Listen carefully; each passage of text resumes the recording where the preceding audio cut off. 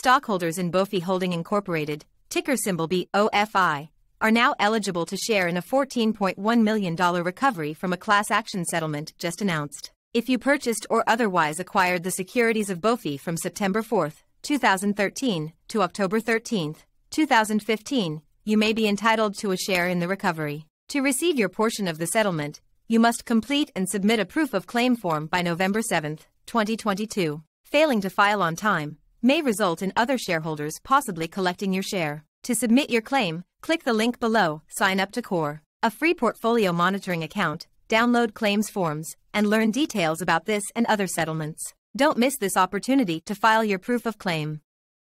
To register for a free account, go to the Bofi Holding Incorporated form and complete your details. Once inside CORE, if you are not taken straight to the Bofi Holding Incorporated page, search for ticker BOFI. On the Bofi page, click on Relevant Litigation Updates. Once inside, highlight the latest proof of claim deadline. Then navigate to Case Development. Then scroll down within this section until you see Proof of Claim Notice. Complete and send your details. When you are finished, take a look around CORE for stock information and other news. Use CORE to track, identify, and recover your securities class action settlements. Please subscribe and then watch another settlement announcement and don't leave money on the table you are entitled to be compensated.